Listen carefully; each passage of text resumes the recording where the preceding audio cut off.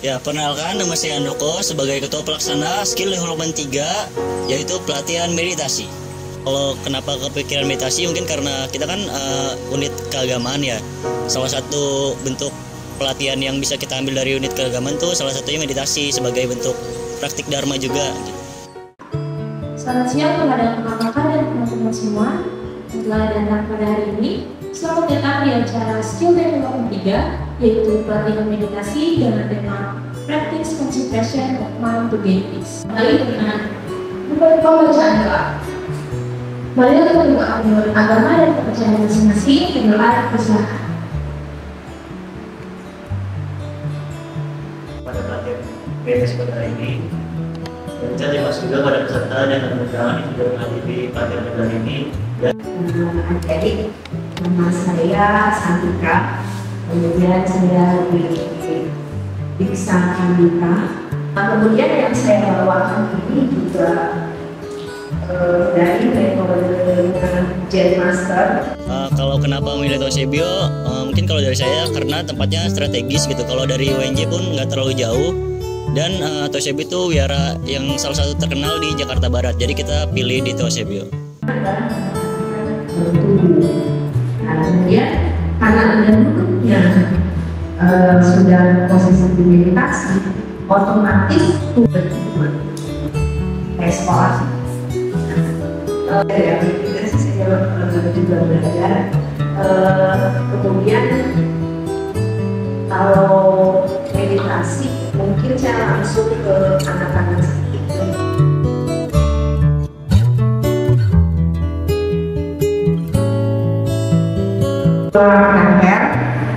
punggung, kemudian tulang pinggul, kemudian tulang ekor. Ya kan? Saya nggak tahu ini gimana. Kalau kalian nyaman dengan itu biarin aja. Kemudian tulang punggungnya, tulang belakangnya itu harus eh, ada tulang ekor.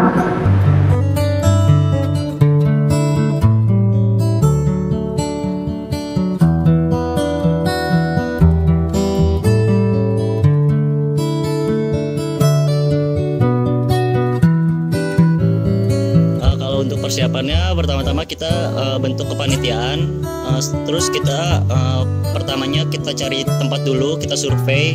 Dan kebetulan di Tosebio ini kita pilih untuk jadi tempat pelatihan kita. Uh, selanjutnya kita cari untuk pematerinya atau pelatih meditasi kami. Uh, terus kita udah cari juga, udah ketemu. Coba sekali lagi tarik nafas. Langsung dibawa balik nafasnya. Maksimal. Perlahan-lahan. Tahan satu, dua detik. Kemudian buang nafas, tetap kembali hidup. Dua, tiga, empat, lima. Tarik nafas, empat lima tahan satu dua buang nafas satu dua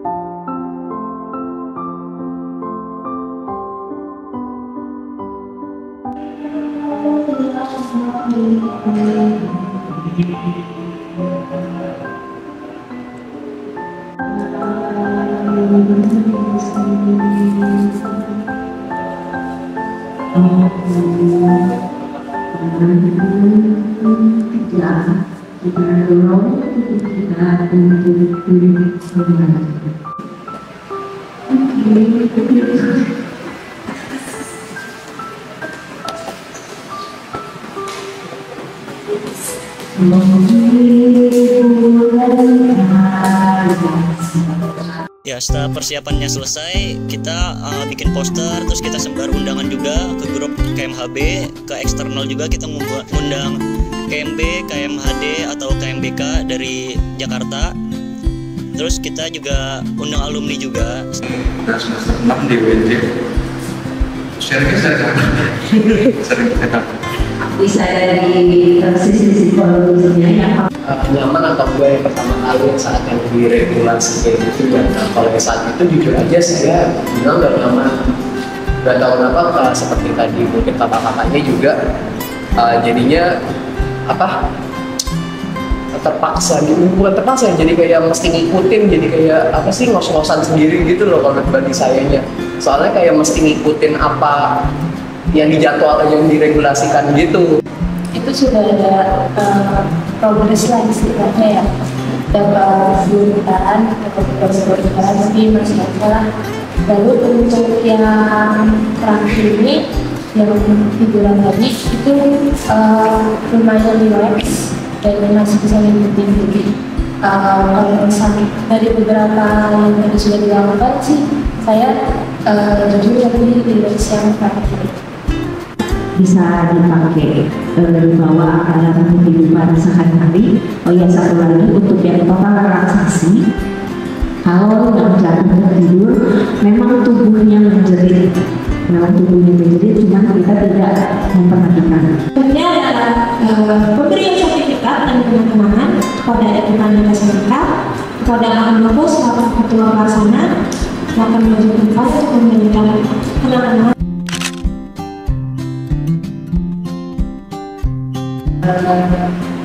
Ingat, Wan Buddha sebagainya. Jadi silakan anda semua menjadi muda untuk membantu eh, banyak saudara kita. Dan mungkin tangan bumi kita juga ya